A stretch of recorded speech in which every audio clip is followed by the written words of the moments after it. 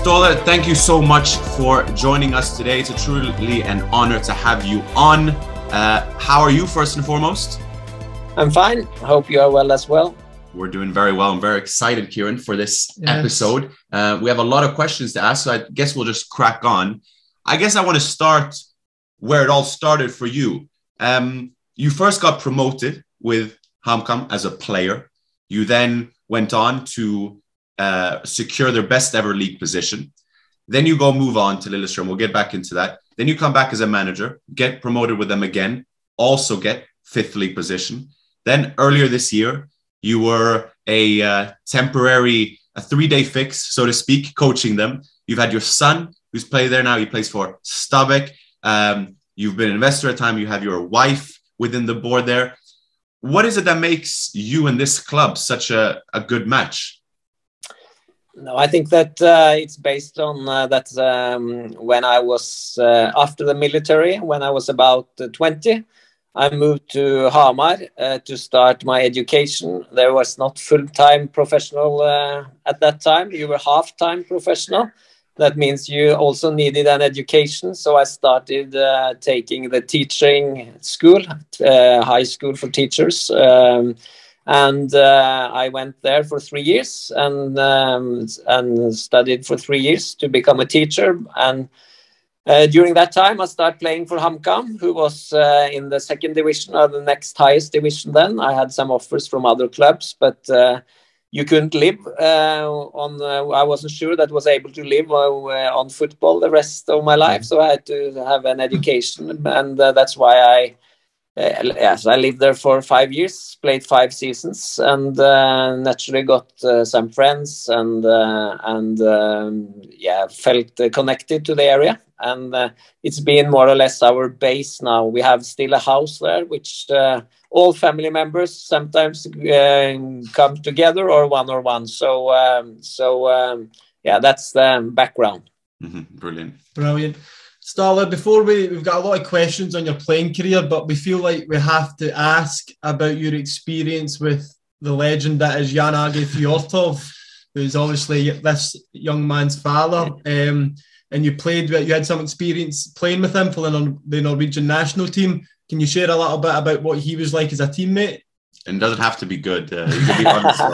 no, first of, first, first of all, he was. Uh, what you can call a. Um, there are players that can play in several positions. He could only play in one, and that was uh, that was a striker. He was uh, obsessed with goals, and I think uh, that's maybe some uh, players today lack that uh, quality. He he uh, he counted goals. That was what he was living for. he um, he had a great understanding of the game, and I think that his his uh, his uh, best thing as a footballer was how to sniff goals.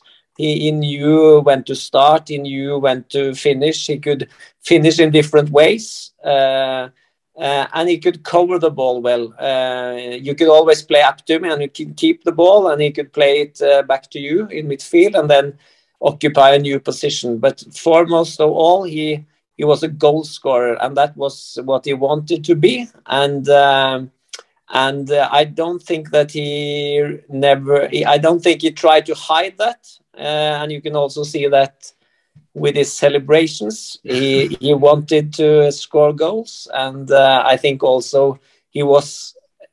Um, selfish in terms in a good way because I think that when you put 11 players on the pitch, we have different roles. His role was to to score goals, and his role was to um, to in difficult periods uh, keep the ball up for us. But I, I think that uh, every player who has played with him would say more or less. Um, uh, what he was best at was uh, sniffing the goals and and be calm in in uh, situations in and around the penalty area. Mm-hmm. Um, so I can tell you a funny story. I, I, he will probably regret it. In, uh, he will probably deny it himself. But uh, uh, my tenth national game was a really big game against the, the Czechs at home. If we won that in 1995, we would qualify for Euro 1996 in England.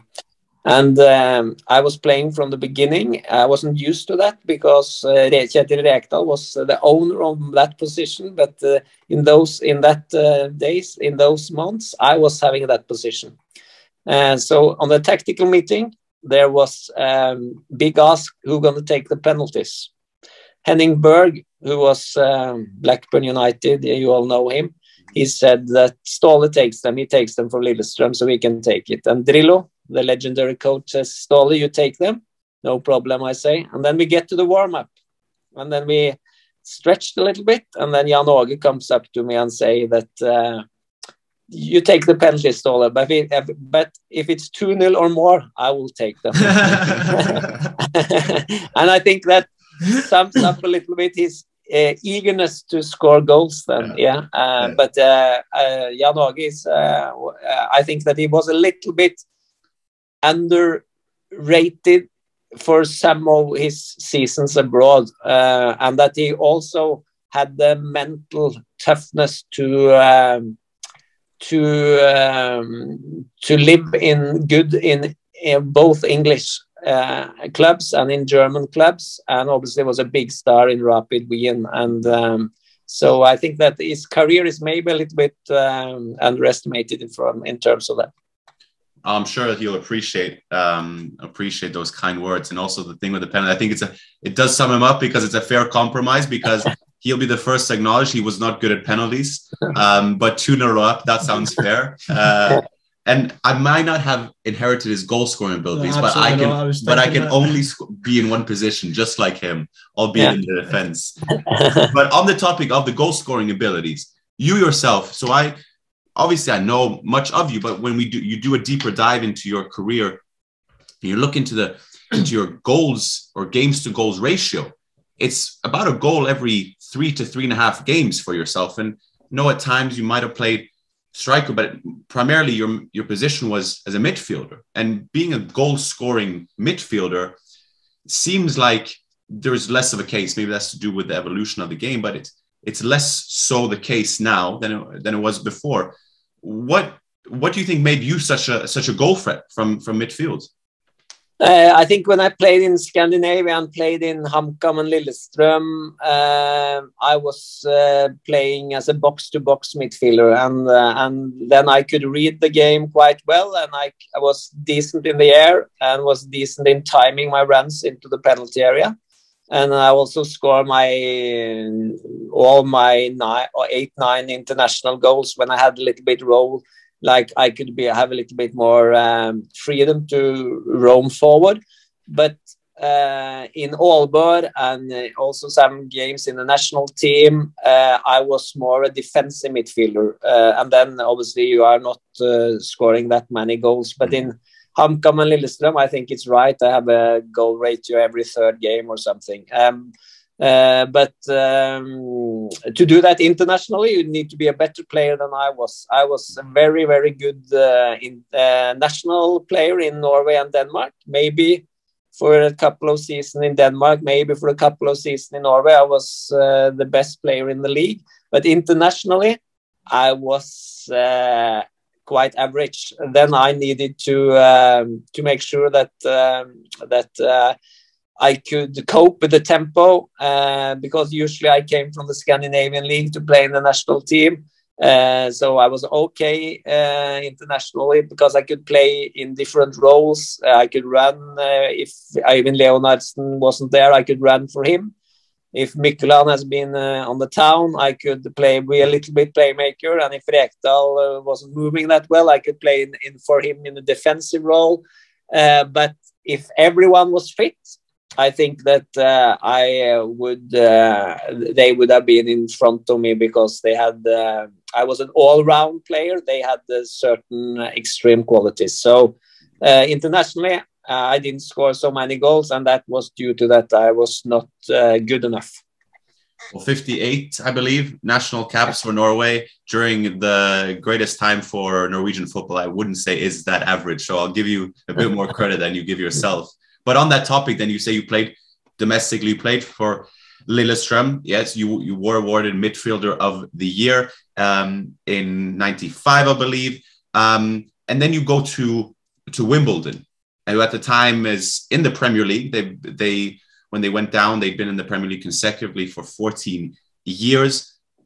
I look at it and I see you play six games. It says you get two man in the match, you score a goal against West Ham, and then it stops. Why did it end so so briefly? Because by the by the looks of it, it looked like a pretty good start. Yeah, two words Joe Kinnear. Yeah. yeah, he, he, was the manager. We couldn't see eye to eye, so he uh, and I should probably also keep my mouth shut. But uh, I agree with absolutely everything he did uh, on and off the pitch, and it was a disaster for me. So I couldn't get away. Um, and actually, the few games I played, it went decent, but I was. Uh, uh desperate to get away from him, and uh, I think he was desperate to get rid of me. So, um, so um, it, it was half a year in London. Um, good experience, but uh, uh, it was not it was it was not meant to be with me him and me so um, so um, yeah that's that's it's it's like that that's how it is sometimes isn't it how did you find that transition to English football? Because you obviously experienced it as a player there, going to Wimbledon, but then 15 years later, you experienced it as a manager when when you went to Wolves. And I'm wondering how those two experiences compared, and if you maybe learned a lot from the first time. Uh, not really, because I think it was very special with Wimbledon at that time, and things then move on. And obviously, my manager time Wolverhampton was my less uh, was my uh, uh, was not a I was not very successful. I think that was a little bit down to the circumstances that they had they went down uh, from the Premier League with 25 points, and uh, we should build a new team. So we lost uh, Fletcher to um, Sunderland. We lost Jarvis to West Ham, and we lost Kightly to Stoke. They they had. 70% of the goals and assists from the year before, but they have only taken 25 points. And and I made mistakes there because we should build a new new team. And um, and with um, obviously we got I think we got 25 million pounds for those players and then we should be able to use 8 9 10 of them to build a new team. But you couldn't get much quality in english football at that time because the transfer fee was so high also in the in the championship. Not like today where there are not so many uh, high transfers in the championship but at that time they were very high so it was impossible to get quality for 8 9 10 million um, pounds. So we went abroad uh, and we bought five players, and if I'm really hard on myself, one was successful, half was okay, but three was a big failure, and that means that the team was uh, a, a, a average championship team, and that was exactly what we was. But we were expected to go straight up again. So uh, when I left, I think we were 17th or 18th or something. Uh, but it only got worse because they, they went down. And I think that the whole town was a little bit in depression mood after three years in the Premier League. And uh, and the, the championship at that time was brutal, more much more brutal than today. So uh, unfortunately, uh, it didn't uh, work out. So I and I think that what I did wrong was the was the the the, the transfers. Uh, they were not very successful, except from one. And the, I remember you, you quoted saying that the reason you were fired was the same reason you were appointed, meaning that they wanted you to take you into the, the club into yeah. a modern direction. Um, yeah. And then when you left, they said, okay, we're going back to the roots. Yeah. It kind of yeah sums football up a bit, doesn't it, in terms of yeah, but but that was I, I that was down to the owner. It was Steve Morgan. It was a it was a very wealthy man. He tried to buy Liverpool. Was close to buy buy Liverpool once upon a time, and uh, and obviously he wanted a new direction. And when he didn't see results, um, and and when I got sacked, he either had to backed me in two more transfer windows, the January window and the summer window, or we had to get rid of me. And then it was probably much, much cheaper to get rid of me and see if those players could um, then go back to their roots, uh, how they had played more under Mick McCarthy, and uh, and then they they took a traditional British manager uh, and see if uh, that could go, but um, it, it didn't work out that either. No. Did you feel like you were the right man, but at the wrong time in some ways? in Wolverhampton, I must say also I have to blame uh, myself because you need to be, uh, you need to, uh, you need to make sure that the transfers are more uh, accurate than that was. So uh, I think everyone would have struggled there in in terms of um, that it, it was depression within the whole town, in the whole club because uh, you know when you go down also the players had to cut their wages 50%. That is not uh, also healthy for uh, the atmosphere in the dressing room. Everyone wants want to join another Premier League club or or go back to the Premier League, but but that was not the case, um, they, because they probably some of them were not also good enough. Yeah. If we get back to your playing career, Ståle, after following Wimbledon, you then make the decision to go to Denmark, where you finish your career there, and then you've obviously managed, spent a lot of time there managing there in the past. Um, and it's to the point where you can maybe even say it's a second home. But back then, initially, why why did you choose to go to Denmark? Uh, at that time, there was no transfer windows, uh, and uh, this was happening in March, and there was not. Um, and suddenly, um, this club Aalborg came up. I didn't know anything about them, but they they um, uh, this was three months before the World Cup, and I played all the qualification games. I was actually top scorer in the World Cup qualification to 1998, be, with four goals, and Solskjaer and Flo, and those were on three goals. So that's maybe my biggest achievement as a player. Huh? but um, then uh, Drillo, who was the coach, called me and said, "Now you have to play to make sure that you secure your place in the summer." And then this Aalborg came up, and um, and um, I, I thought I was quite desperate. I didn't know much about them, but I knew that their coach was Hans Backe, who had been in uh, coached in Stabæk uh, in Norway, and I knew him a little bit from that.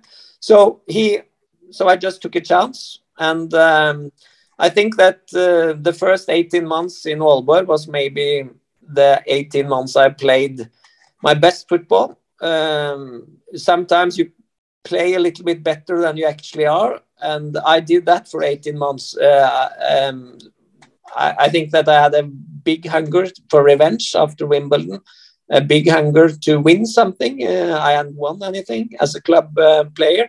And Aalborg was maybe the fourth, fifth biggest club in Denmark, still is, but there, there are others that were favorites. But suddenly we managed to pull um, a team together and uh, we won the championship in my first whole year there. And I think that uh, made the foundations for what was to come, uh, also as a coach in in uh, in Denmark, because I got um, uh, a good reputation, and and you know sometimes you you maybe play better than you are, and that was the case for the first eighteen months. I was not a great free kick shooter, but suddenly the, that year I bent some balls over the wall and uh, and uh, I, I, did things that I, I didn't really nat nat naturally did. So um, in all, but I think they remember me um, better than I actually have. That's not bad though. But over 18 months, then it must be some sort of quality speaking, isn't it? it? Must be.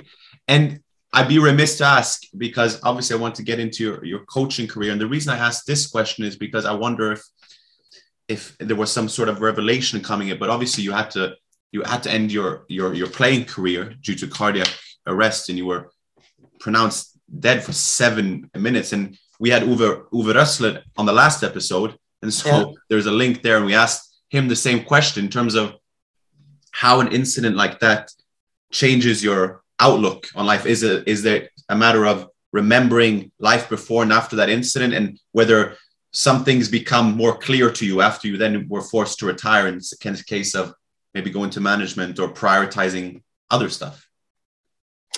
I think that uh, obviously uh, you change some of your thoughts about life when something like that happened, but um, I think that I was 33 at the time, so I was um, have maybe one, two, three uh, more years left uh, in my playing career. Mm-hmm. And you suddenly you're standing there and you don't know what to do. And then I start taking coaching um, uh, studies, lessons, and uh, I uh, got um, uh, a big favor or a big ask from the federation to, to, to train the under 18 uh, national team for Norway.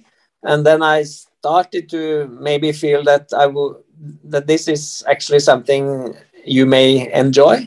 Uh, and um, and I think that uh, that sudden that the football suddenly was taken away from you um, and that the hunger for more the hunger for competition was there uh, and you didn't get the, um, the choice to to stop yourself. Maybe that uh, gave me some start for for the coaching career.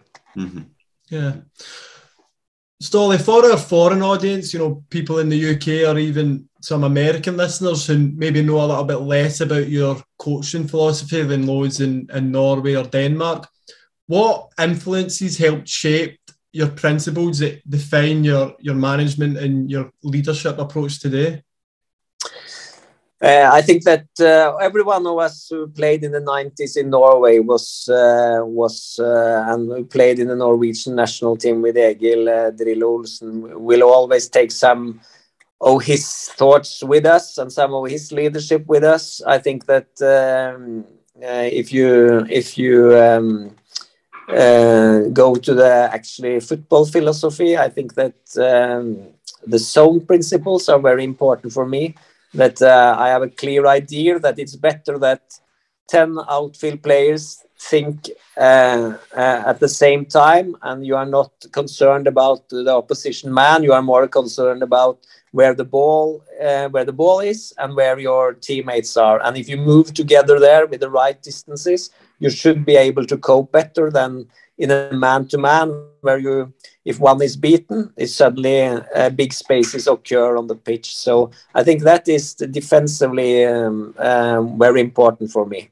Uh, and uh, that goes for all players. So everyone has to follow that. With in the offense, uh, I like to move the ball quick forward if it's possible. Uh, I like to play in the length of the pitch if possible. But you are, but you all also has to learn to read the game. Um, you need sometimes to rest with the ball, uh, to to um, um, to defend with the ball and rest with it. And you sometimes need to take the the air a little bit out of the game, and then you have to be good on the ball. And I think we learned a lot of that in all the European games with FC Copenhagen against the better teams. That you need to be able to use the ball uh, not just for attacking, but also sometimes to rest with it uh, to be to to prepare so you can have more power in your counter attack so you have more power in your defensive work so you have more power in your one against one situations uh, both ways and to uh, to uh, feel that you really are into this game. And uh, but when the when the when the opposition are out of position are, are not in balance obviously i want to attack fast. Mm-hmm. And arguably one of the one of the clubs or FC Copenhagen's in this case better games and sort of a, a manifestation of what you say is the one-one game at home to Barcelona, where you know for all your might as a as a big Danish club, you're up against probably one of the best ever sides to have played. Manage a one-one one one-one draw um, in what is then a, a zonal defense structure. What what do you learn from a game like that, or more so, what was your approach going into that game? What did you learn from it, and what do you think Barcelona and Guardiola learned from a game like that? Uh, first of all, we played uh, Barcelona in game three and four in the Champions League. So we lost 2 0 in the first game in, in Camp Nou.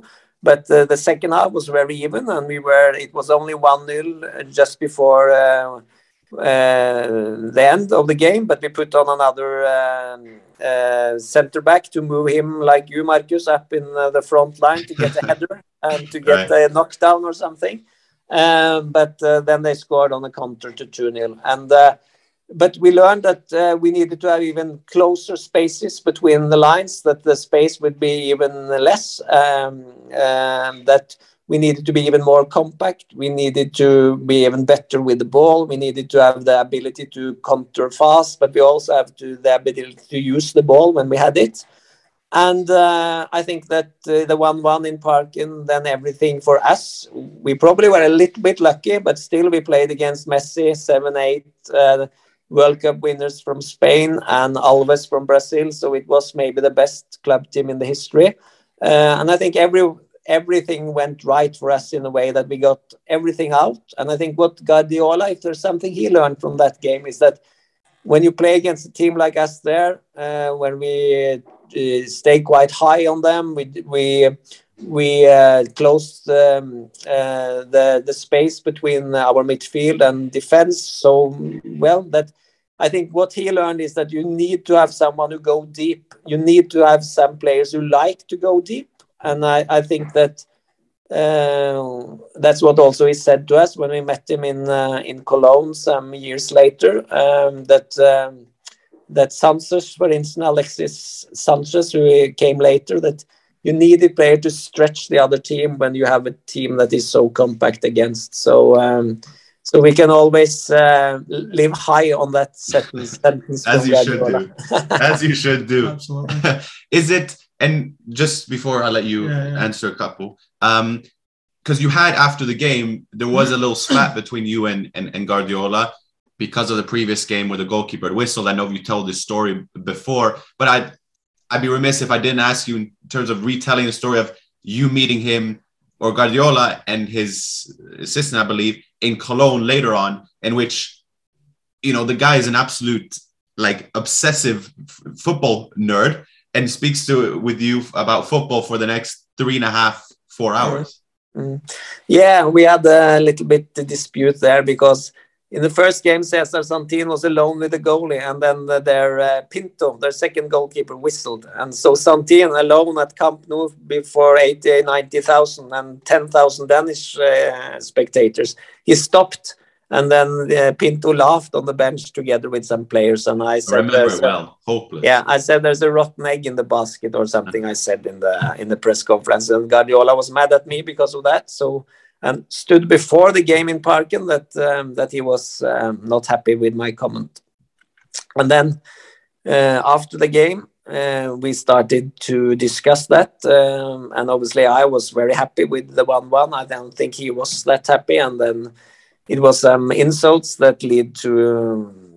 yeah, that uh, Busquets sorted it out, so there was no boxing game between us. But um, uh, then uh, two three years later or two years later we um, I was coaching Cologne and he played the Champions League game in Leverkusen, which is the neighbor of Cologne. And we asked through his uh, assistant or um, or secretary if uh, we could have a meeting with him, and we were able to get that. So we sat in the reception when he came in, and he um, he invited us, me and Wiggen, who was my assistant, up to a bar where we where we could sit in peace, and we had a tactical board with us, and uh, and we asked him questions, and uh, and I could feel already then that maybe he was on his way to Germany. I was actually very interested in the German culture and how that was in in football in Germany. Uh, and uh, he was obsessed and uh, i think it was great for us two nobodies from norway was able to sit down with him and and he spoke football for three and a half hours. And it was actually me who said that. Um, thank you. and then I think it was three thirty at night or something. So he um, he, he uh, gave us he gave everything also for us, and we were yeah it was so much to um, uh, so interesting to listen to. Pimp Society can paint on anything you want. Fem Society is a creative outlet for both you as a customer and then me as a creator. Now you can currently go on the website, fill in a form, and then you'll get, um, we'll communicate through email.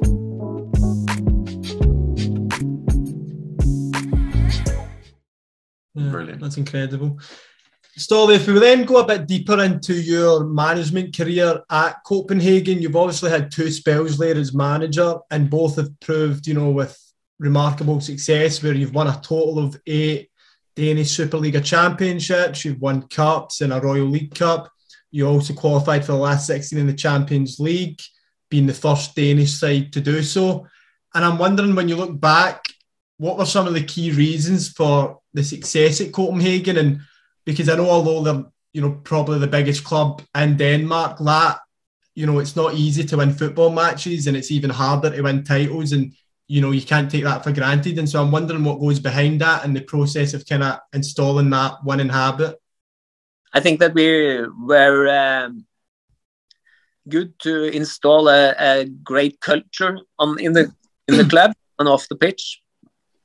I think everyone spoke about the FCK DNA, that you have a certain arrogance on and off the pitch, and I think that uh, uh, we were able to to use our zonal defense in a very very good way that everyone understood that. And we were also good uh, for uh, on, on, the transfer market. Um, it's not easy when you sell all your players after after 18 months two years two and a half years all your best players leave for bigger leagues and you have to always try to uh, have another player in the pipeline maybe in your own uh, youth or in your own um, in your own um, uh, group of players, but you also have to buy the right players and some.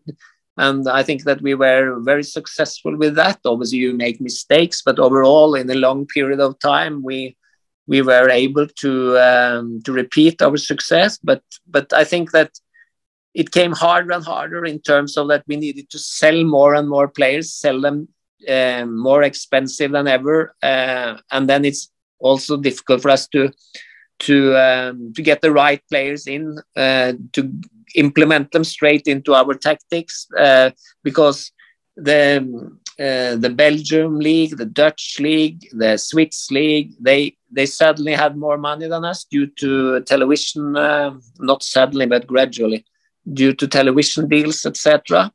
Uh, so, but we we managed to to be around number 40 uh, in terms of um, in terms of position in uh, in Europe in the ranking, and I think that what made us made players choose us instead of big clubs in Germany, Netherlands, etc. was that we were able to give them a career plan. Here, you come here, you develop, you win trophies, so you have that on your CV and you will be able to go in two years time for instance uh, then we will not stand in the way for you and you can then take step to a bigger league and, and i think that many agents many players and as the rumors got that they trusted us uh, we were able to uh, to win some fights against belgium uh, dutch uh, and maybe also second bundesliga austrian swiss mm. leagues etc yeah, it remains. It seems very similar to Celtic's approach here in Scotland. Yeah. Um, Ciaran, Ciaran, a massive Celtic fan. So yeah. actually, what he wants to ask you is, why is Celtic the best? Uh, Celtic Park the best stadium we've ever been at? That's actually what he wants to ask, yeah. ask you. Yeah, a mixed experience there. I, I played. Uh, yeah, yeah, I think I played. Uh, I played uh, Celtic four times two wins, one draw, and one loss. And um, yeah, and uh, uh, first time in Celtic Park was Champions League. I think that was uh, then we lost one 0 Was tremendous yeah. atmosphere. Yeah. The same when we won three one for a couple of years ago. Yeah. Uh, yeah.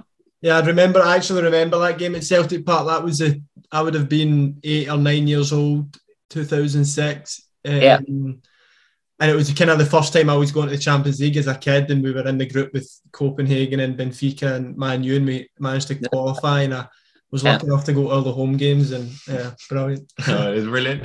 No, fair play. He's going to take me to a European night at Celtic Park, but we'll talk about that later. Yeah.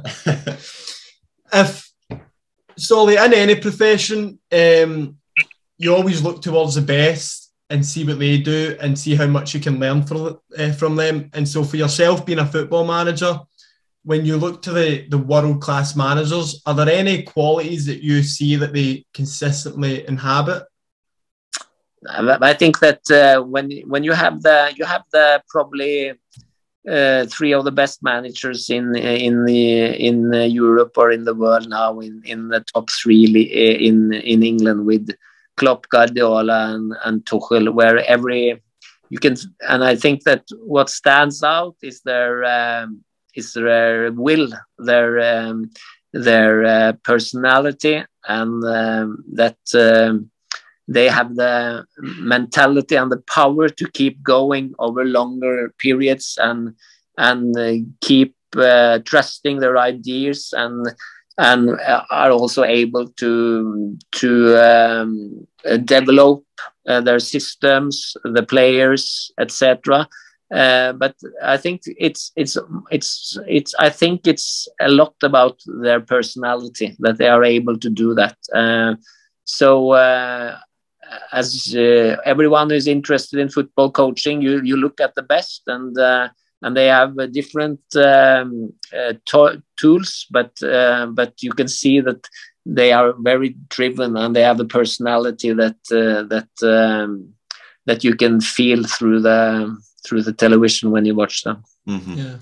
And Ståle, for me, you strike me as that sort of persona in terms of you have your principles, you've stayed firm in your your ideas, ideas and principles that have led to you going down as the greatest coach for Copenhagen. Your the silverware and trophy record speaks for itself.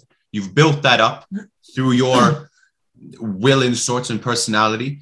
At the same time, you were at, and I'll we'll mention this briefly, but you were at Köln, where my impression and from reading about you, they wanted maybe more so of a, a yes man, uh, more so, in which something that you would accept in, in a lesser degree.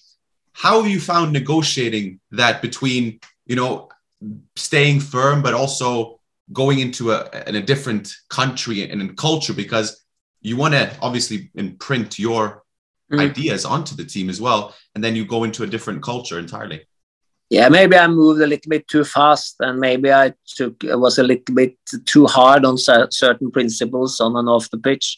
Uh, but uh, i think that it's so small margins. Uh, had we won one or two more games then you would have get another season build it. So it's so small margins. Uh, but i think that that um, I maybe went a little bit too fast with some things, and that the different differences from what they have learned or was used to, uh, or what I represent or what I came with was uh, maybe the gap was a little bit too big in the beginning, but they started to understand, and I think that that uh, some of the things that um, that uh, I was heavily criticized for that letting the players sleep at home before home games. Uh, how can you do that? Two years later, Guardiola came, and, and then everyone said it was a brilliant idea. So it also has something to do with who says this. Yeah, I was uh, in. I think that you also, when you come from Norway, you need to um, maybe have success faster mm-hmm. because you come from a ski nation, Markus. They think you are a skier when you come in there, so you need to you need to um, maybe have a success uh, faster. But overall, it was a great experience, and uh, I really enjoyed that season because it was a uh, uh, you learn a lot off the pitch and on the pitch, and uh, you know Cologne is also the the media town in in Germany, so it was never less than 15 reporters uh, at any training session. Uh, in the holidays, you could have 5,000 around the, the, training pitch when you were coaching, and uh, so it was a great experience. And it's always 50,000 on each home game, no matter if you lost or won.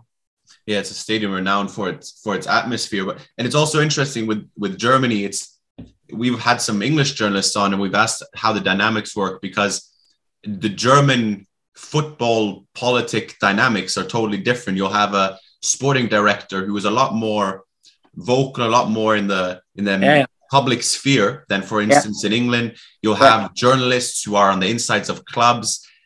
How it's is much, it? It's much more open. It's much more politics, and it's much and the the power. It's also what I experienced a, fight inside the club who's got the power. Mm-hmm. And, and with my year there, Wolfgang Overath, the, the world champion from 1974, he retired as a president suddenly. So it was also a president campaign behind our backs. And and uh, the sports director had his own ideas uh, and the scouting department had so there was not it was a club that fight had a lot of fights inside and and i i don't think they reacted that much to it as i did because uh, for me it was clear that if it's going to be successful everyone has to go in the same direction mm-hmm. but for them i think uh, it was also a play who who who will be the strongest here and and it was not often that we won two games in a row, but we did that uh, after six, seven we rounds. We suddenly beat Leverkusen and Hoffenheim, and then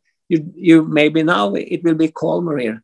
But the opposite happened because they were now afraid that this Norwegian would get a lot right. of power. so, so it was a, it was a strange atmosphere knowing what you know now and i'm not usually a fan of asking this question because with hindsight you mm. you know you can answer any questions but knowing what you know now how do you think you would have, have, have approached it differently i think i would go a little bit slower on the pitch with some of them but i think also i i i would have um, i would maybe also have earlier has confronted some uh, people in terms of because you need to be sure that is this the case or something? Because i think they also liked what we did. They liked that uh, we tried to build something not for the next game but also for the next season etc and that you need to have a certain culture that you when we tried to also and maybe i should wait a little bit with that but we tried to make a red um, what do you call it? Uh, rød tråd, red, uh, yeah, red line. line. like a comment, yeah, silver yeah. lining. Yeah. yeah. yeah, through the club that everyone has the same mindset. So uh, when players come up to the our best, the best squad, they are in a way prepared a little bit. But uh, but every coach lived their own life. Everyone fought for themselves. Yeah. Yeah, yeah. Football is a cynical business. Huh? Absolutely. It is. We even on the grass grassroots level where we play. It's, um, should we go into the just towards the last part? So that we would like, obviously, you are the Norwegian national team coach, so we'd have to ask a bit about I know the larger football development trends in Norway. And we had a mini series on on on Norwegian football talent development that will mm-hmm. that Ciaran you'll get into. But yeah. before that, I want to. I'm a bit curious about your approach going in as your first phase as, as a Norwegian national team coach because it's very unconventional, untraditional in the sense that there was a pandemic. You play your first qualifier as at home in Spain against yeah. Turkey. Um, you have to answer questions about Qatar and those issues. So you're becoming more more than a coach, becoming more of a, a spokesperson, talisman for something unrelated to football, if you call it that. Did you feel like you had to reapproach your role as national team coach from what you originally had in mind? Yeah, I think that the first half year had nothing to do with football actually, because we had this big, big Qatar um, um, discussions all over the um, all over Norway, and we had the pandemic, and we was the only country that wasn't allowed to play in our own country, and and then we have to move everything to Spain, and that was not the easiest way for us to start. And obviously, a new coach with the pandemic, you cannot meet the players either. So I think what we did before the summertime was, or summer holiday was uh, was not good. It was uh, it was uh, very hectic. We didn't know each other. It was difficult to, uh, and also then with three games uh, uh, in a very short time. we um, yeah we struggled to to what do you say? We struggled to be a unit on and off the pitch because we had 33 players, I think, on the first uh, on the first uh, um, three games in Spain there, where we played uh, Gibraltar, Turkey, and uh, and Montenegro. And I, I, think that was very difficult for the players because they didn't know me, I didn't know them, and it was difficult to to read, uh, uh, and obviously have all those discussions around it. So, uh, but after the summer holiday, when we come together again, it the pandemic was down in the first uh, uh, part of the second year, and then we could get to know each other. We could train a little bit, and and I think that we did a good half a year there. We obviously. Um, the Turkey defeat in the first uh, game haunted us for the whole qualification, and and and not been able to have Erling with us in half of the games. He, and, and um, yeah, and uh, two of the games he played was against Gibraltar. We probably could have done without him. so that was a little bit difficult, but I think that we have a good feeling now, um, and um, so um, we uh, we have no excuses now. Now we need to make sure that we qualify for the first times in 2000 in Germany 2024. That's our big aim. Yeah. Well, Absolutely. I'm been more optimistic than I ever been on the national team. Good. So that's uh, credit to him for that. I guess we can both share that. Scotland are now yeah. getting yeah. back, being good. Yeah, rub it so. in, rub it in. no, but Ståle, this is something that Markus and I um, have spoken about a lot in terms of kind of Norwegian culture. I've, you know, I've had my fair share of experience um, living with Norwegians. I don't know if I maybe have a thing for them. Um, but from my perspective, it's always seemed that kind of Norwegian attitudes and, and personalities have always been more so on the collective. And yeah. not many Norwegians have big egos or are kind of, you know, big characters in a way. And if you tie, if you try and tie that to football, I guess in the nineties when the national team had a lot of success and Rosenborg had a lot of success in Europe as well, everything was kind of predicated on the collective. But if you maybe look now, you have great individual players, and on the women's side you've Ada Hegerberg and Caroline Graham Hansen, and then on the men's side you've Haaland and Ødegaard, who are kind of a little bit un-Norwegian in their approach, and at least from my experience, two Norwegians who've played for Celtic, Kristoffer Ajer, Leo Hjelde, who have this sort of swag and confidence about them that I wouldn't really, you know, seems a little bit unusual for a Norwegian. I'm just wondering if you've seen that shift or that trend um, in your experience?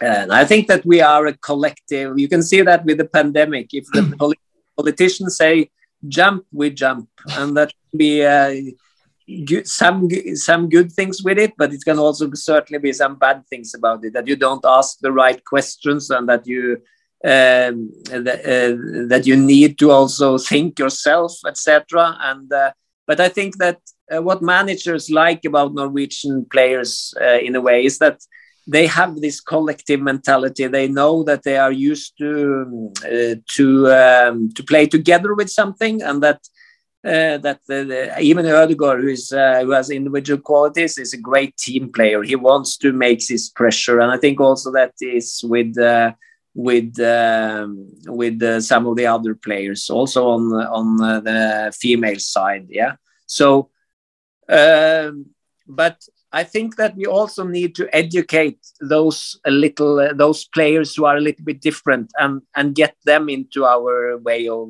thinking, our way of shape, and and that we uh, must be better to let uh, some individual um, in a certain context be able to be individual on the pitch. To so for example, if you take our biggest star now, Erling Haaland, that you you can have a good uh, total pressure pressuring uh, that you can cope with him.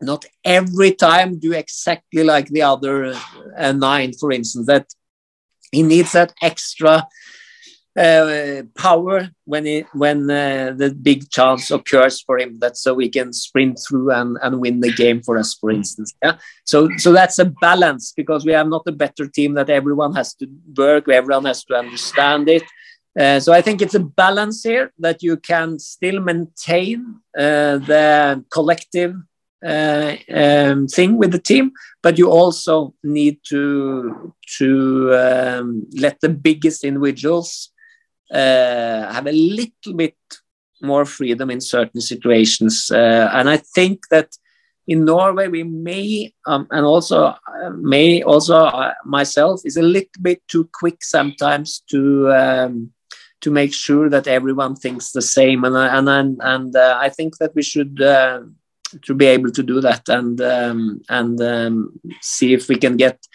more match winners. And yeah, which just seems like it's black and white. It's like the reminds me of the Ronaldo discussion when Ronaldo was United. It's either one or the other rather yeah. than something in between.